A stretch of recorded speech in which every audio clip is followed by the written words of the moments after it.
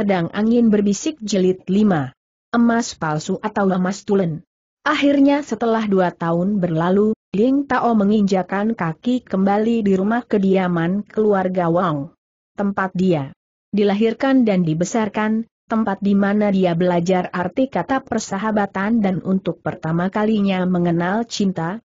Ketika dia dipersilahkan masuk ke dalam bangunan utama, Ding Tao sedikit berdebar karena di hadapannya telah berduduk para tetua dan orang penting dalam keluarga Wang. Rupa-rupanya kedatangannya bertepatan dengan salah satu pertemuan penting dalam keluarga Wang. Ding Tao pun jadi merasa tidak enak hati dan malu, karena dengan tidak sengaja sudah merecoki satu pertemuan yang sepertinya cukup penting. Cepat-cepat dia membungkukan badan dalam-dalam dan memberi hormat. Chuan besar Wang Jin, para tetua, maafkan jika hamba sudah mengganggu pertemuan yang penting. Chuan besar Wong Jin yang sebelumnya sudah mendapatkan kabar tentang kedatangan Ding Tao dari salah seorang keponakannya, telah bersiap-siap untuk menemui Ding Tao. Meskipun di luaran, dia berlagak terkejut dan tidak menyangka akan kedatangan Ding Tao, dengan cepat dia berdiri dari tempat duduknya dan bangkit untuk menyambut Ding Tao yang masih membungkuk hormat. Astaga, Ding Tao. Benarkah engkau itu nak? Jangan sungkan-sungkan, pertemuan kami sebenarnya sudah hampir selesai. Nah sekarang duduklah bersama kami, kedatanganmu ini tentu membawa satu cerita yang luar biasa. Dengan tiba-tiba kau menghilang dua tahun yang lalu bersamaan dengan pelatih Gud, kami semua mencemaskan kalian dan terus terang merasa penasaran. Ding Tao merasa bersyukur, segala kekhawatirannya ternyata tidak beralasan, Chuan besar Wang Jin, bukan saja tidak mencurigainya, Chuan besar Wang Jin bahkan menyambutnya seperti menyambut seorang anak yang hilang. Membasah mata Ding Tao dengan suara sedikit serak menahan haru dan menjawab, Chuan besar Wang, sungguh kami bersalah, tapi ada alasan kuat mengapa aku dan guru terpaksa pergi diam-diam. Dengan arif Tuan Besar Wang Jin menepuk-nepuk pundak pemuda itu, tenangkanlah hatimu, terhadap kesetiaanmu dan kesetiaan pelatih Gud, sedikit pun aku tidak ragu. Sejak dari awal aku sudah tahu, jika kalian berdua sampai menghilang begitu saja, tentu ada alasan yang kuat. Sembari membimbing Ding Tao untuk ikut duduk dalam meja pertemuan, Chuan besar Wang Jin memberi tanda pada salah satu pelayan kepercayaan yang hadir untuk menghidangkan minuman dan makanan. Ding Tao yang merasa sebagai seorang pelayan dalam keluarga Wang tentu saja makin merasa rikuh dan sungkan, menerima merasa tidak layak tapi menolak pun berarti sudah bersikap tidak sopan. Chuan besar Wang Jin tentu saja dapat menangkap kecanggungannya, dengan tawa ramah dia membesarkan hati pemuda itu. Ding Tao, janganlah terlalu sungkan, dua tahun ini tentu sudah banyak yang terjadi pada dirimu. Dari caramu berjalan dan sorot matamu, bisa ku tebak, ilmumu tentu sudah maju jauh. Hari ini aku anggap kau sebagai tamu, entah apakah nanti kau akan kembali menjadi anggota keluarga Wang atau tidak, tapi aku harap antara keluarga Wang dengan dirimu bisa terjalin satu hubungan yang baik. Chuan besar Wang, hal itu, Sungguh terlalu besar kehormatan yang Tuan Besar Wong berikan, hamba ini lahir sebagai pelayan Tuan. Setelah berkelana dua tahun pun, dalam hati, hamba masih memandang Tuan Besar Wong sebagai Tuan saya. Heh, anak ding, perkataanmu itu sungguh tidak bisa aku terima. Siapa itu Li Ubeis? Bukankah asalnya hanya seorang penjual sepatu jerami? Atau siapa itu Liu Bang yang menjadi pendiri Kekaisaran Han? Bukankah awalnya dia hanya seorang petani? Pahlawan lahir dari golongan mana saja, yang terpenting bagi seorang laki-laki adalah kepribadiannya. Pujian Tuan Besar Wang terlalu berat untuk ku terima. Hamba ini cuma orang biasa, tentu tidak bisa dibandingkan dengan pahlawan-pahlawan dari masa yang lalu.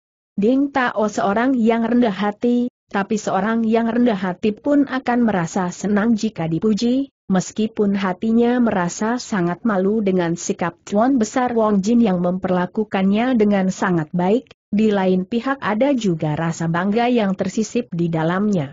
Mendengar jawaban dan sikap Ding Tao yang malu-malu, mereka yang berduduk di sana pun tertawa bergelak, bagaimanapun juga, sebagian besar dari mereka masih ingat dengan pemuda yang dungu tapi setia dan sopan itu.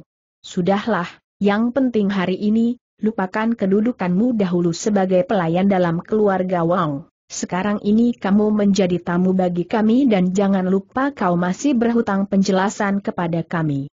Aku yakin, ceritamu pastilah sangat menarik, kata salah seorang di antara mereka setelah tawa mereka mereda. Yang lain pun mengganggu setuju dan saling mendorong Ding Tao untuk cepat-cepat mengisahkan kejadian dua tahun yang lalu. Ding Tao yang merasa diterima dengan baik menjadi lenyap tak berbekas segala ketakutannya, dengan suara yang cukup jelas dan lancar dia mulai menceritakan kejadian dua tahun yang lalu.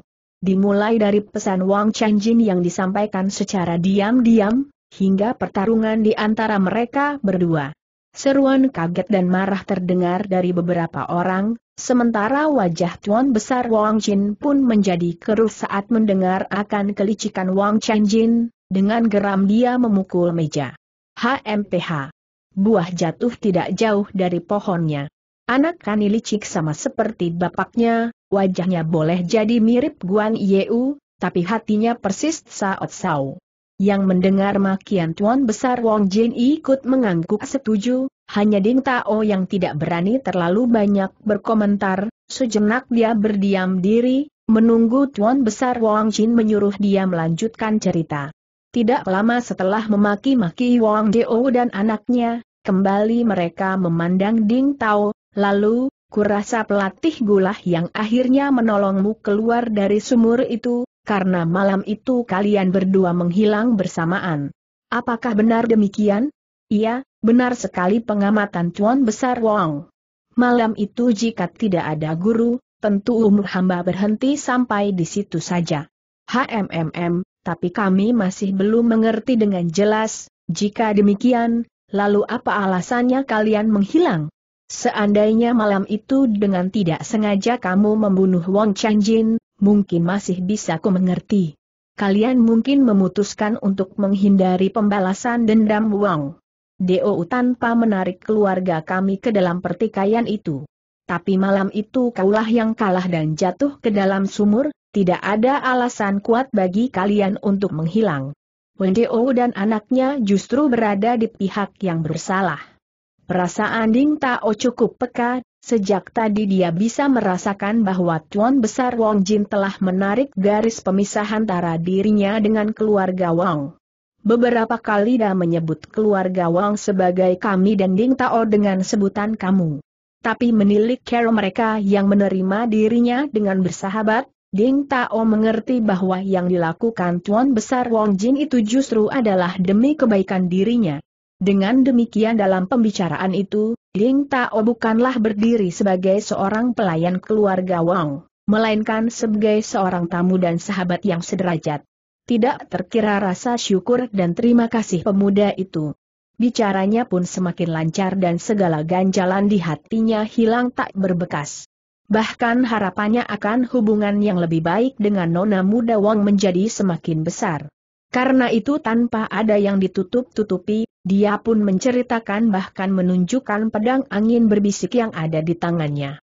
Sekilas hatinya terkesiap karena untuk sekejap dia bisa melihat perubahan di wajah Tuan Besar Wong Jin dan mereka semua yang hadir.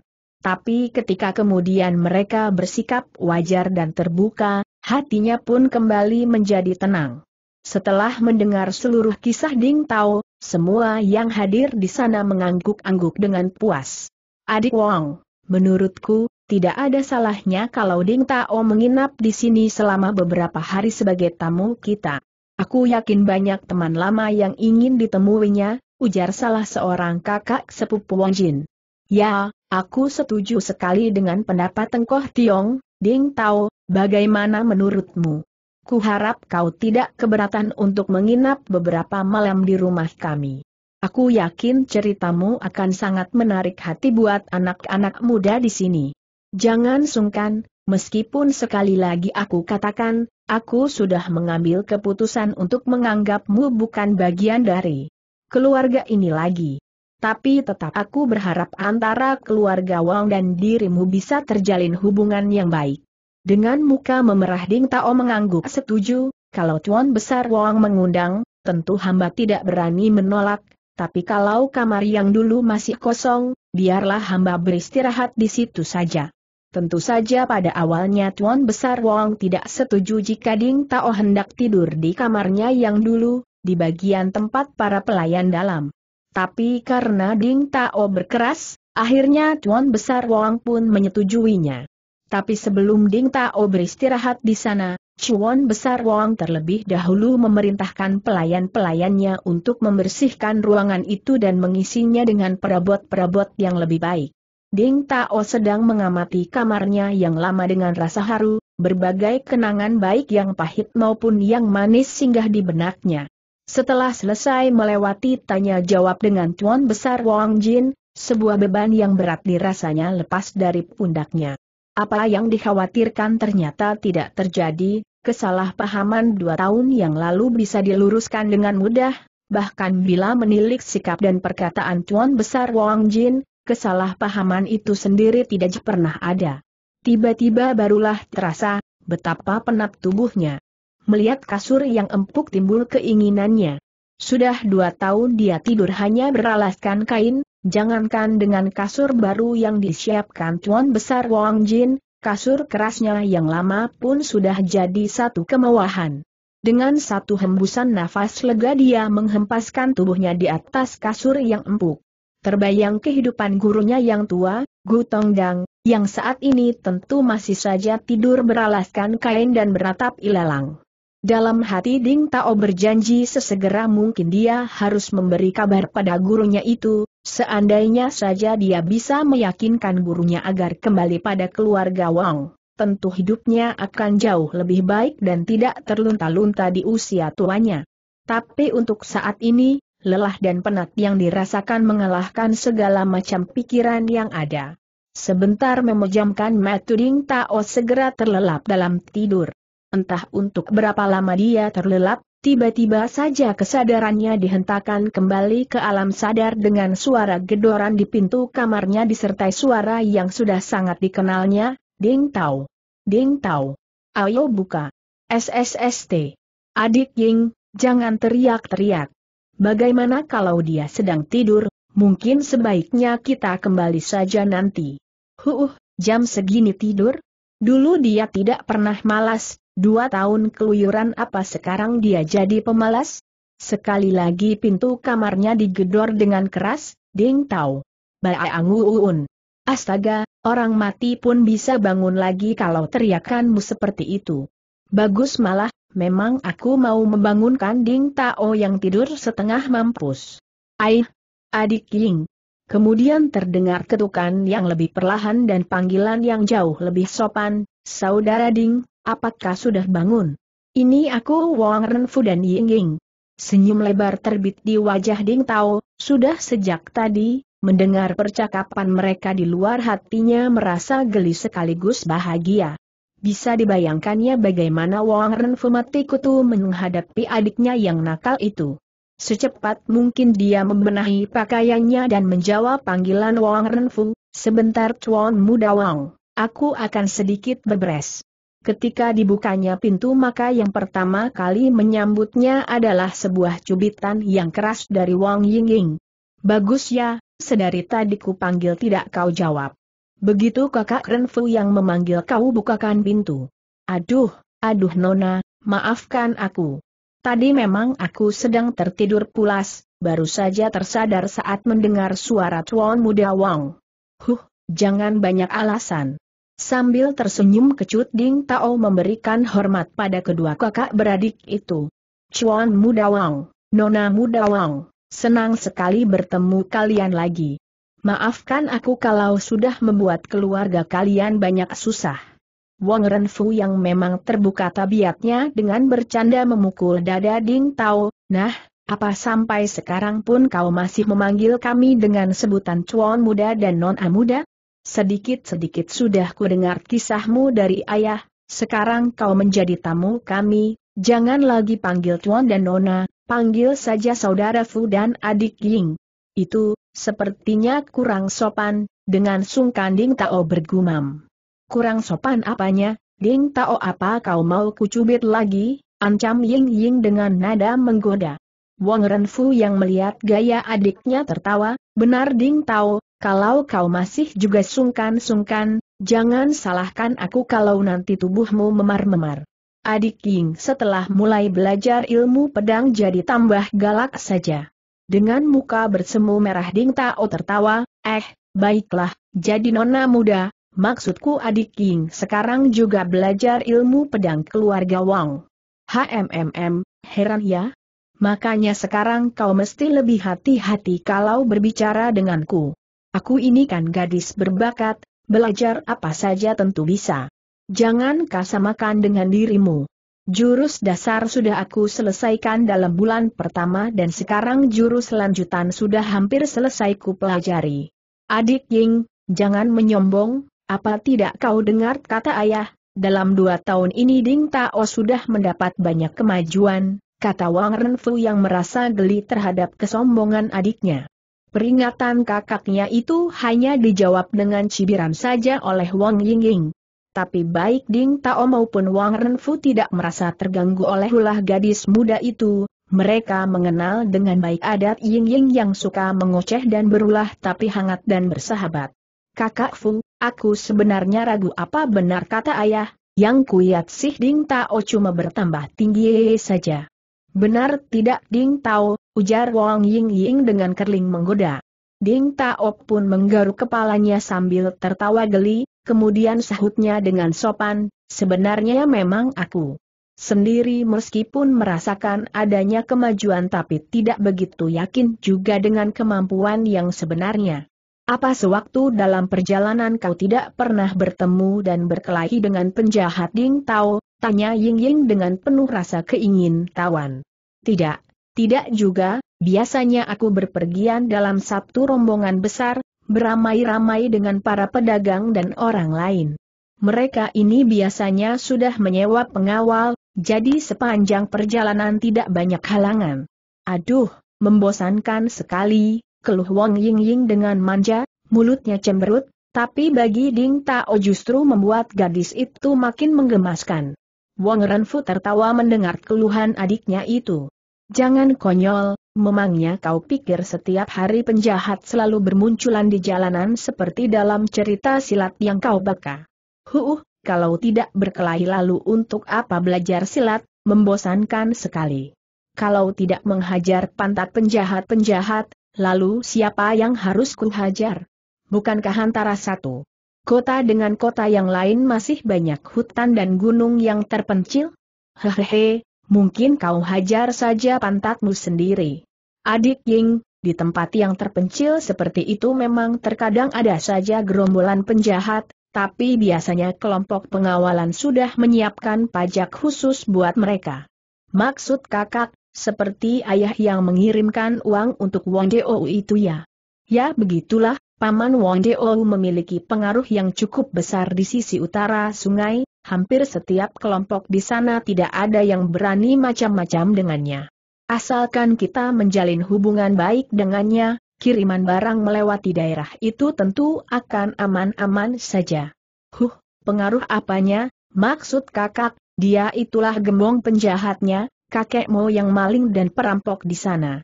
Membicarakan Wang Deo, Wang Yingying jadi teringat cerita ayahnya tentang Ding Tao dan Wang Changjin, berbalik melihat Ding Tao diraihnya tangan pemuda itu lalu dengan sungguh-sungguh dia berkata, Ding Tao, aku sudah mendengar cerita ayah tentang Wang si keparat itu. Sungguh. Kalau aku tahu dia selicik itu, tidak akan aku menerima persahabatannya. Tangan Wang Yingying yang lembut dan hangat membuat Ding Tao berdebar-debar. Sambil berpura-pura tidak merasakan apa-apa, dia berusaha menjawab, jangan berkata begitu Nona, eh. Adik Ying. Aku sendiri tidak menduga dia akan menyerangku secara demikian. Lagi pula, mungkin itu. Terdorong oleh rasa. Tersadar Ding Tao bahwa dia hendak mengatakan, terdorong oleh rasa cemburunya. Tapi cepat-cepat dia menghentikan kata-katanya, Jangan-jangan nanti dia dianggap tidak tahu diri. Kalau bilang cemburu, bukankah itu berarti Ding Tao menafsirkan kebaikan Wang Ying Ying sebagai tanda cinta? Wang Ying Ying dan Wang Renfu justru tidak menangkap apa-apa dari perkataan Ding Tao, Ding Tao sendirilah yang terlalu banyak berpikir dan merasa. Wang Ying Ying yang mendengar Ding Tao tidak menyalahkan dirinya tersenyum gembira. Terima kasih Ding Tao, aku tahu sifatmu tidak picik dan suka mendendam. Tapi saat ku dengar cerita dari ayah aku jadi merasa bersalah sudah berteman dengan si licik Wong cilik itu.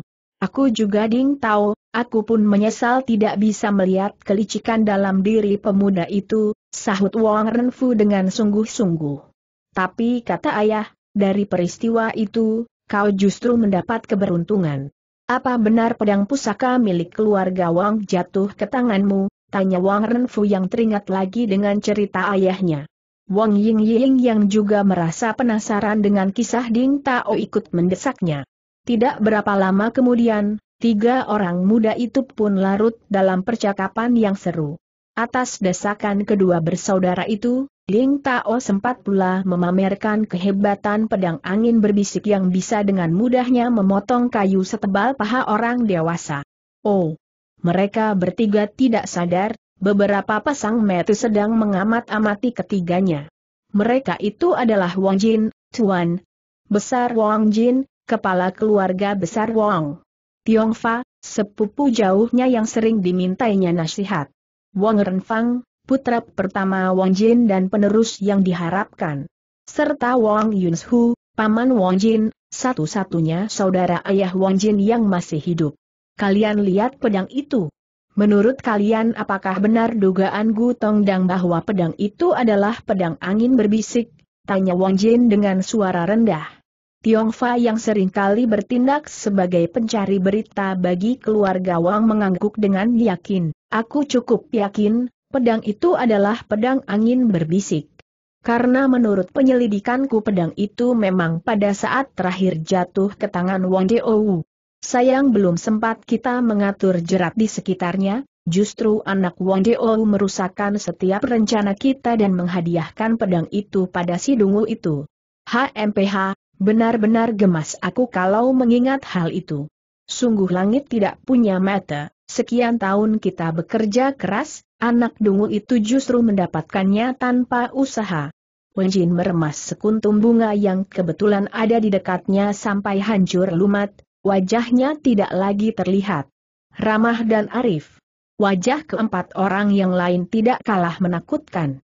Lucu memang bila dipikirkan, sepertinya langit yang dipandang adil, menurut pandangan mereka haruslah adil dalam cara yang sesuai dengan kepentingan mereka. Tidak teringat bahwa Ding Tao hampir mati malam itu. Tidak teringat pula alasan Ding Tao menemui Wang Changjin malam itu adalah karena kesetiaannya pada keluarga Wang. Menurut Paman Yunshu, sebaiknya apa yang kita lakukan pada Ding Tao? HMM, tidak salah kita memilih Gu Tongdang menjadi pelatih bagi bibit-bibit muda. Orang itu memang punya metu yang jeli. Si Dungu itu punya bakat yang bagus. Siang tadi saat aku memperhatikan cara dia berjalan memasuki ruangan, cara dia berdiri tegap dan imbang di atas kedua kakinya. Anak dungu itu kukira cukup berisi. Jadi maksud paman, kita tarik saja dia kembali dalam keluarga Wang. Berdiam diri sejenak Wang Yonshu yang sudah memutih semua rambutnya itu perlahan-lahan menggeleng, tidak semudah itu, anak itu, anak itu, terlalu lurus. Sepertinya kata lurus itu berat sekali keluar dari mulutnya, sampai mati pun keluarga Wong memandang dirinya sebagai aliran yang lurus. Menyebut Ding Tao sebagai orang yang lurus dan tidak bersesuaian dengan keluarga Wong, terasa seperti memaksakan posisi sebagai penjahat pada keluarga Wong. Karena itu dia pun melanjutkan, sifatnya yang lurus terkadang tidak sesuai dengan keadaan. Untuk menggapai tujuan besar, seseorang harus memiliki keteguhan hati untuk mengorbankan sesuatu. Bersikap cerdik di waktu yang dibutuhkan dan anak itu tidak memilikinya sama sekali. Tiong Fa ikut memberikan pendapat, bisa saja dia ditarik menjadi anggota keluarga Wang, tapi pedang itu harus diserahkan pada kita. Tidak boleh kita menjadikan anak itu sebagai andalan. Karena selalu ada kemungkinan dia justru akan bangkit melawan kita kalau dilihatnya ada yang tidak sesuai dengan nuraninya. Wenjin mengelus-elus kumisnya yang tebal, HMMM, apakah menurutmu itu mungkin? Ding Tao menyerahkan pedangnya dengan sukarela hingga kita bisa menariknya ke keluarga kita, sekaligus mendapatkan pedang itu. Sambil memandang ke arah Ding Tao di kejauhan, Tiong Fa tersenyum melecehkan, Pemuda itu begitu dungu, saat ini dia memandang keluarga Wang seperti memandang sekumpulan orang suci. Jika kita bisa memberikan alasan yang mulia, dia akan menyerahkan pedang itu tanpa segan-segan sedikit pun. Wang Renfang yang sedari tadi berdiam diri menyambung. Selain itu, kulihat pemuda dungu itu jungkir balik jatuh cinta dengan adik Ying. Wenjin yang mendengar hal itu melirik tajam ke arahnya, Bagaimanapun Wang Ying Ying adalah putri satu-satunya. Maksudmu kita mengumpankan adikmu untuk mendapatkan pemuda dungu itu. Dengan dingin Wang Renfang mengangkat bahunya, setiap perjuangan butuh pengorbanan, lagi pula jika anak muda itu sudah seperti mabok arak hanya karena tangannya menggenggam tangan adik Ying, kukira bila kita memberikan harapan lebih baginya, jangankan pedang, nyawanya pun mungkin akan diberikan. Merasakan ayahnya kurang suka dengan pendapatnya itu, dia menambahkan, ayah tidak perlu cemas, belum tentu kita perlu menikahkan adik Ying dengan dirinya, cukup kita berikan dia harapan saja tanpa janji yang pasti. Wen Yongsu yang mendengarkan pendapat cucunya dengan tenang ikut menyambung, sebagai seorang suami pun, pemuda dungu itu tidaklah buruk, bakatnya bagus dan sifatnya, seperti yang sudah kukatakan, jujur dan setia. Wenjin yang mendengar pendapat pamannya itu mau tidak mau harus menerimanya, dengan mendesah dia pun setuju. Hah, ya sudahlah, moga-moga saja anaknya tidak sedungu bapaknya. Tapi bagaimana jika dia masih menolak juga? Sejenak ketiga orang yang diajaknya berbicara itu saling melihat, lalu satu pikiran mereka mengangguk, tidak ada jalan lain, dia harus dibunuh, apa pun caranya hening sejenak sebelum Tiong Fa berkata, tapi aku yakin, lidahku ini sudah cukup untuk membuat pemuda itu menyerahkan pedangnya. Serahkan saja semuanya padaku saat jamuan makan malam nanti. Jamuan makan malam dilakukan dengan cukup sederhana, namun hampir seluruh anggota keluarga Wang diundang di sana. Tidak kurang dari 30 orang ikut makan bersama, untuk itu sebuah meja yang panjang dan lebar sudah disediakan, di bagian kepala meja tentu saja duduk Tuan Besar Wang Jin. Di kiri dan kanannya adalah Tiong Fa dan Wang Yunshu, kemudian menyusul berturut-turut orang-orang kepercayaan Wang Jin. Semakin jauh dari bagian kepala meja, semakin rendah dan muda dari segi umur yang duduk di sana. Ding Tao tidaklah berada di ujung yang satu tapi tidak pula dekat dengan posisi Wang Jin. Tapi Ding Tao tidak merasa tersinggung, justru dia merasa senang karena di dekatnya adalah orang-orang yang hampir seumuran dengannya. Tepat di sisi kanannya adalah Wang Ying Ying yang berceloteh tiada henti. Entah apa saja yang dibicarakan, tapi buat telinga Ding Tao setiap cerita atau gurauan yang dilontarkan sangatlah menarik dan lucu. Sepanjang acara makan bersama itu, senyum dan tawa tidak pernah lepas dari bibirnya. Tentu saja hal itu tidak lepas dari perhatian Wang Jin, dalam hati dia terpaksa mengakui kebenaran kata-kata Wang Yunshu dan putra sulungnya Wang Renfang. Hatinya sedikit terhibur melihat Wang Ying Ying sendiri tampaknya menyukai Ding Tao dan sepanjang acara itu Ding Tao bersikap sangat sopan terhadap putrinya. Karena itu dia pun tidak terlalu gusar saat dia mendengar putra sulungnya menggoda Wang Yingying, adik Ying, kulihat Ding Tao itu orang yang sopan sekali, bisa dibilang cocok untuk menjadi suami seorang gadis sepertimu yang punya sifat bengal. Godaan Wang Renfang itu kontan saja membuat muka Ding Tao memerah seperti kepiting rebus, Wang Yingying yang biasanya tidak ambil peduli pendapat orang itu pun, entah kenapa malam itu sedikit berbeda. Meskipun mulutnya terbuka, tapi gadis nakal yang biasanya bisa cepat membalas godaan orang itu kali ini mati kutu. tentu saja melihat reaksi keduanya, orang-orang di sekitarnya pun jadi ikut menggoda. Acara makan itu pun menjadi semakin meriah, tentu saja bukan melulu menggoda sepasang muda-mudi itu, soal lain pun ikut dibahas. Antara lain tentang pengalaman Ding Tao selama dua tahun itu. Beberapa kali pemuda itu harus mengulangi cerita yang sama tentang pertarungannya dengan Wang Changjin dan bagaimana Gu Tongdang menyelamatkan nyawanya di saat yang paling kritis. Ketika Tiong Fa melihat bahwa hampir semua orang sudah berhenti makan, dia berdeham sejenak untuk menarik perhatian. Saat perhatian semua orang tertuju padanya Tiong Fa menoleh ke arah Ding Tao dan dengan nada yang bersungguh-sungguh dia bertanya, Ding Tao, sebenarnya aku tidak ingin untuk menanyakan hal ini. Tapi sedari tadi siang, aku berpikir-pikir tentang pedang itu. Apakah tidak lebih baik kau serahkan pedang itu pada keluarga Wong kami? Ruangan yang tadi riuh dengan percakapan tiba-tiba menjadi sepi, senyum lebar di wajah Ding Tao menghilang digantikan wajah yang memucat. Seandainya saja pertanyaan diajukan tadi siang, saat dia baru bertemu dengan Tuan Besar Wang Jin, mungkin Ding Tao tidak sekaget sekarang. Bukan hanya Ding Tao yang terkejut, banyak orang muda yang ada di ruangan itu pun sama terkejutnya. Urusan ambisi keluarga Wang dalam dunia persilatan dan sangkutannya dengan pedang angin berbisik memang urusan yang dijaga rahasianya baik-baik oleh Wang Jin dan orang-orang kepercayaannya. Tiong Fa yang cerdik tentu saja sudah memperhitungkan hal ini. Sedari awal keluarga Wong memandang dirinya sebagai bagian dari aliran yang lurus, jika sekarang Tiong Fa mengatakan dia ingin meminta pedang itu dari Ding Tao tanpa bisa memberikan alasan yang kuat, tentu seluruh tokoh dunia persailatan akan memandang mereka sebagai sampah. Termasuk orang-orang dalam keluarga Wang sendiri, utamanya mereka yang masih berusia muda dan idealis.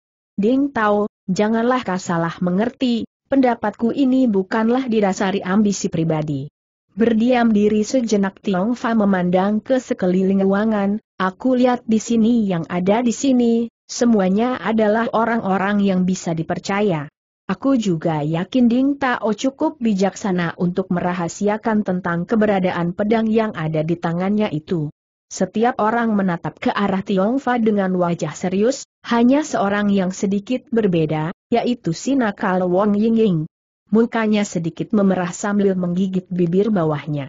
Bagaimana tidak malu, gadis nakal ini yang paling susah menahan bicara, dalam hati dia bersyukur, untung tadi siang saat hendak menemui pengasuhnya dan menceritakan tentang pengalaman Ding Tao, ayahnya keburu memanggil dia ke ruang latihan. Coba kalau tidak, pasti dia sudah menceritakan soal pedang itu pada bibi pengasuhnya, yang tidak kalah bawel dan suka bergosip. Dalam keadaan seperti itu, wajah gadis itu sendiri sebenarnya jadi semakin manis dan menggoda, sayang tidak seorang pun di ruangan itu tidak sempat mengaguminya. Apalagi Ding Tao yang saat itu merasa seperti sedang ditodong dengan pedang tepat di atas jantungnya.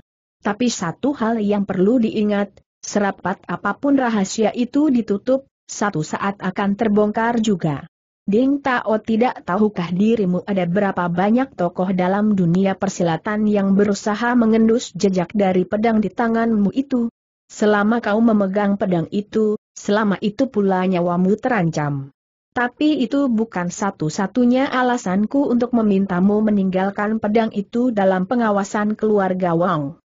Alasan lainnya adalah masalah sekte matahari dan bulan yang diketuai Ren Zuochan.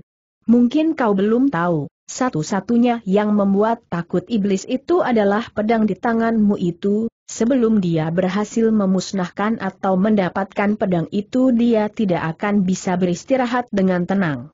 Kekuasaannya dan kekuatannya secara pribadi semakin meningkat dari tahun ke tahun, banyak anggota dunia persilatan yang diam-diam sudah bersumpah setia kepadanya. Bukan hanya dunia persilatan yang berada dalam bahaya, tapi juga negara kita secara keseluruhan. Bayangkan saja jika didengkot barbar itu berhasil menguasai dunia persilatan daratan, berapa lama sebelum pasukan mereka akan menyeberangi perbatasan dan menjarah rumah-rumah kita. mendengar kata-kata Tiong Fai yang penuh semangat patriotisme, wajah-wajah yang sebelumnya mengerutkan alis sekarang mengangguk-angguk setuju. Termasuk Ding Tao sendiri. Karena itu Ding Tao, dengan berat hati dan memendam rasa malu, aku memintamu untuk menyerahkan pedang itu ke dalam pengawasan keluarga Wang. Bukan karena ambisi pribadi, melainkan karena rasa sayangku padamu dan juga kewajibanku pada negara dan tanah air. Hebat benar lidah licin Tiongfa, sudah dari zaman dulu kala, ada saja orang-orang yang berlidah licin selicin ular, yang dengan kemampuannya berbicara dan bersandiwara mampu memikat hati pendengarnya. Apalagi pemuda-pemuda yang tidak berpengalaman itu. Apalagi yang mengucapkan adalah orang yang mereka hormati di hari-hari biasa, tidak sebetik pun. Terlintas dalam pikiran mereka bahwa kata-kata yang manis dan penuh semangat itu, tidak lebih dari arak wangi yang menyembunyikan amisnya racun keji. Begitu hebatnya kata-kata, bahkan yang mengucapkan sendiri ikut terbuai olehnya. Dalam bayangan Wang Jin dan orang-orang kepercayaannya, ada sebagian dari diri mereka yang menghibur hati dengan pembelaan itu, meskipun jauh di dalam lubuk hati mereka, mereka tahu bahwa ambisi pribadi dan keserakahan adalah motivasi penggeraknya. Padahal mereka semua adalah orang yang mengerti bahkan beberapa di antaranya sangat taat dalam beragama. Ada yang menekuni agama Buddha, ada pula yang menekuni ajaran Konfusius. Lalu mengapa keserakahan masih menguasai hati mereka? Mengapa mereka tega untuk mengorbankan orang lain demi ambisi pribadi mereka? Bagaimana bisa seorang tabib menyembuhkan si sakit, jika si sakit itu sendiri tidak mau menyadari sakitnya. Sungguh celaka orang yang sudah menipu dirinya sendiri, sesungguhnya kecerdikan mereka justru menjadi jerat bagi jiwanya sendiri. Perhatian setiap orang sekarang beralih pada Ding Tao, Ding Tao yang merasakan tatapan setiap orang pada dirinya menjadi salah tingkah. Teringatlah dia pada kata-kata gurunya, pada sumpah yang pernah dia ucapkan, Meskipun gurunya membatalkan sumpah itu, pemuda ini tidak meragukan sedikit pun ketulusan Tiongfa, bahkan dalam hatinya dia justru meragukan kemampuannya sendiri. Seandainya saja malam itu Gu Tongdang tidak memberikan nasihat dan perintah demikian, mungkin saat itu juga, pedang angin berbisik sudah diserahkannya pada Tiongfa. Beruntung bagi Ding Tao, gurunya bukan orang yang masih hijau, gurunya cukup mengenal orang-orang yang ada dalam kelompok pimpinan keluarga Wang. Sehingga sebagai bekal bagi Ding Tao, telah dinasihatkannya dengan sungguh-sungguh pada pemuda itu untuk mempertahankan kepemilikannya atas pedang itu.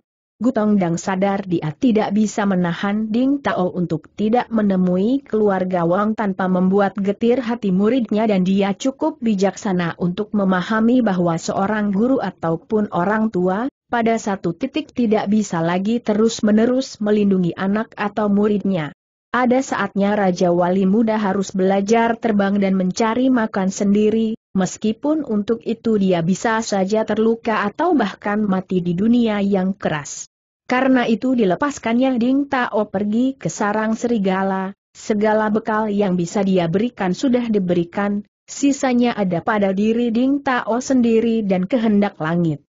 Diam-diam nun jauh di sana, guru tua itu berdoa dengan khusyuknya, demi keselamatan murid yang dia kasihi, tidak ada lain lagi yang bisa dia lakukan sekarang. Dengan suara sedikit gemetar Ding Tao menjawab, maafkan aku tetua Tiong, tapi dengan sesungguhnya lah aku tidak bisa memberikan pedang ini kepada keluarga Wang. Suara bisik-bisik pun memenuhi ruangan itu, mereka yang tadinya tidak puas pada permintaan Tiongfa, sekarang berbalik tidak puas pada jawaban Ding Tao. Tapi pemuda itu bukanlah Tiongfa yang pandai bersilat lidah, dengan wajah merah padam dia hanya bisa berdiam diri dan menekuri pedang yang ada di hadapannya. Tiongfa pun berkerut alisnya, jawaban Ding Tao sedikit di luar dugaannya, namun Tiongfa yang cerdik ini yakin sepenuhnya pada kemampuannya menilai seseorang, karena itu dia tidak cepat menjadi gugup atau marah. Anak Ding, mengertikah kau dengan uraianku sebelumnya? Sebenarnya apa yang kau cari dengan pedang itu? Apakah kau menginginkan ketenaran? Kekayaan? Menggeleng Ding Tao mendengar pertanyaan itu, bukan tetua Tiong, sungguh bukanlah demikian maksudku. Sebenarnya sebelum aku pergi, guru, telah menceritakan hal yahwal pedang ini terhadapku dan pesannya yang selanjutnya adalah agar aku mengemban tugas, melenyapkan Ren Chan dengan menggunakan pedang ini. Atas jawaban Ding Tao ini bermacam-macam reaksi yang muncul. Ada sebagian yang mengagumi kegagahan pemuda itu, apalagi mereka sudah mengenal kejujuran Ding Tao dan tanpa ragu lagi meyakini ketulusan kata-katanya. Tapi ada juga mereka yang menjadi kurang puas dan merasa pemuda itu terlalu sombong atau setidaknya sudah salah menilai dirinya sendiri. Tiong Fa tersenyum dalam hatinya, mendengar jawaban Ding Tao, maka jelas baginya, tidak ada kesalahan dalam penilaiannya atas diri pemuda itu. Diam-diam dia memaki kelicinan Gu Tongdang. Siapa sebenarnya yang licin Gu Tongdang atau dirinya? Tentu saja buat Tiong Fa, Gu Tongdanglah yang licin dan licik, sedangkan dirinya adalah cerdik dan bijak. Tapi dia tetap tertawa dalam hati, menertawakan kebodohan Gu Tongdang, karena sekarang dia melihat sebuah celah yang bisa dimasukinya. Ding Tao, sungguh aku hargai keberanian dan tekadmu, tapi tahukah siapa itu Ren Chan? Mungkin kau pikir satu-satunya ilmu andalan Ren Zuo Chan itu adalah ilmu kebalnya dan dengan pedang di tanganmu itu kau akan mampu menembusnya. Jangan salah nak, bukan hanya ilmu kebal, tapi Ren Zuo Chan itu gudangnya ilmu. Dia memiliki ilmu pukulan, tenaga dalam dan ilmu tombak yang tidak kalah menggiriskannya dari ilmu kebalnya yang terkenal. Jika bukan demikian, tentu orang dunia persilatan tidaklah begitu gentar padanya. Wajah Ding Tao yang sudah merah, semakin memerah, tentu saja dia mengetahui semua hal itu. Sekali lagi jika bukan. Karena pesan gurunya tentu pedang itu sudah dia serahkan sekarang, tapi terngiang-ngiang di benaknya perkataan gurunya, kaulah yang pantas menjadi pemilik pedang itu. Tiong Fa yang melihat bahwa kata-katanya sudah mulai menjerat Ding Tao melanjutkan, Nak, mungkin saja kau tidak takut kehilangan nyawa dalam usahamu untuk menggenapi tugas yang diberikan oleh pelatih Gu padamu, tapi tidakkah kau bayangkan, apa yang akan terjadi jika kau gagal?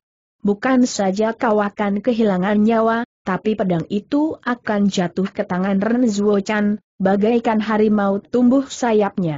Jika sekarang saja kita harus bersusah payah untuk membendung ambisinya, kalau pedang itu sampai jatuh ke tangannya, apa yang bisa kita lakukan? Apakah kita semua harus beramai-ramai menyerahkan nyawa padanya? Ding Tao pun semakin terdesak oleh argumentasi Tiong Fa, sampai akhirnya dengan terbata-bata dan suara yang hampir-hampir tidak terdengar dia berkata, tapi, tapi, ah, tapi menurut guru, aku bisa melakukannya dan, kemampuanku sudah cukup untuk mempertahankan pedang ini. Setelah berkata demikian pemuda itu menundukkan kepala, tidak berani untuk melihat ke kiri dan kanan. Tak sampai hati dia untuk berkata bahwa Gu Tongdang percaya bahwa dari antara seluruh tokoh dunia persilatan, dialah yang pantas memiliki pedang itu. Tapi perkataannya tadi itu pun sudah cukup menyiratkan hal itu. Ruangan itu pun jadi penuh dengan suara riuh rendah, mereka yang tadinya bersimpati pada Ding Tao pun merasa bahwa pemuda itu sudah keterlaluan memandang tinggi dirinya. Apalagi mereka yang sejak tadi sudah merasa tidak puas dengan sikap Ding Tao, tanpa segan-segan mereka mengemukakan pendapatnya. Ding Tao yang menunduk, semakin saja menunduk. Entah apa di antara pembaca pernah merasakan hal yang demikian, merasa melakukan sesuatu yang memalukan di hadapan banyak orang. Sampai rasanya ingin bumi terbelah menjadi dua dan menelan kita lenyap dari permukaan bumi. Yang seharusnya merasa malu tidak merasa malu, bahkan bersorak dalam hati. Yang tidak perlu merasa malu justru merasa malu. Dalam keadaannya yang serba getir itu, tiba-tiba Ding Tao merasakan satu sentuhan lembut pada tangannya yang tersembunyi di bawah meja. Terkejut dia menoleh sekilas ke arah Wang Yingying dan dilihatnya gadis itu memandang dirinya penuh simpati, terasa pula bagaimana tangan gadis itu meremas tangannya, seakan memberikan semangat baginya untuk bertahan. Ding Tao merasa sedikit keberaniannya kembali muncul, tidak lagi dia merasa sesengsara seperti tadi. Meskipun dia masih merasa malu kepada anggota keluarga Wang yang lain. Tiongfa membiarkan saja keriuhan itu terjadi, dibiarkannya keadaan itu mengendap dalam perasaan setiap orang. Setelah dia merasa cukup menanamkan racun itu di hati setiap orang, dia mengangkat tangannya, tahan sebentar, cobalah tenang. Kita harus menghargai sikap Ding Tao, sebagai salah seorang tetua dalam keluarga Wang. Aku berharap setiap generasi muda dalam keluarga Wang mengambil sikap Ding Tao terhadap perintah gurunya itu sebagai satu teladan. Inilah hebatnya Tiong Fa, dengan satu kalimat dia berhasil menampilkan dirinya sebagai seorang yang arif, bijak dan berhati besar. Bahkan memenangkan hati Ding Tao yang sebenarnya justru sudah menjadi korban lidahnya yang beracun. Menunggu suasana mereda, Tiong Fas sekali lagi mengajak Ding Tao berbicara, anak Ding, sebenarnya aku merasa malu untuk mengajukan usul ini. Orang mungkin akan menganggap aku sebagai golongan yang lebih tua menekan yang muda. Tentu saja sebenarnya memang itu yang sedang dia lakukan, tapi setelah kata-katanya yang sebelumnya siapa dalam ruangan itu yang berpikir demikian? Tapi karena rasa kewajibanku pada bangsa dan negara, mau tidak mau aku mengajukan usul ini kau berteguh hati hendak mempertahankan pedang itu karena gurumu telah berpesan bahwa kau memiliki kesanggupan untuk melindungi pedang itu. Jika hal itu benar, tentu aku pun tidak berkeberatan. Tapi bagaimana jika dia salah menilai dirimu? Karena itu bagaimana kalau sekarang kita melakukan saut pertandingan persahabatan, antara dirimu, dengan orang-orang dalam keluarga Wang. Jika kau berhasil mengalahkan kami, maka itu berarti kau memang memiliki kemampuan yang lebih dari kami untuk melindungi pedang itu. Tapi jika tidak, kukira kau pun tidak berkeberatan untuk mempercayakan pengawasan pedang itu pada keluarga Wang. Sebenarnya usulan Tiong Fa ini tentu saja jauh dari adil. Untuk membuktikan dirinya Ding Tao tentu harus melayani orang-orang dari keluarga Wang sendirian. Di mana letak keadilannya? Tapi bila mengikuti argumentasi Tiongfa, tentu saja orang jadi dibuat setuju oleh pendapatnya. Dengan menggigit bibir akhirnya Ding Tao pun mengangguk setuju, tetua Tiong, sebenarnya aku merasa malu, tapi kurasa itulah jalan yang terbaik. Sehingga jika nanti ku serahkan pedang ini ke dalam pengawasan keluarga Wang, bukan berarti aku melanggar pesan guruku. Namun memang keluarga Wang lebih pantas untuk menyimpannya. Demikianlah dengan kelicinan lidahnya Tiong Fa berhasil mengatur panggung sandiwara, di mana setiap orang berhasil dimainkan menurut kemauannya. Wen Jin, Wang Yunsu dan Wang Renfang, serta beberapa orang kepercayaan keluarga Wang yang lain, yang mengetahui tentang rencana ini, mengangguk-angguk dengan puas. Dalam hati mereka bersyukur ada orang macam Tiong Fa dalam keluarga mereka. Bersyukur tapi juga bergidik, ketika membayangkan bila Tiong Fa justru berdiri di pihak lawan.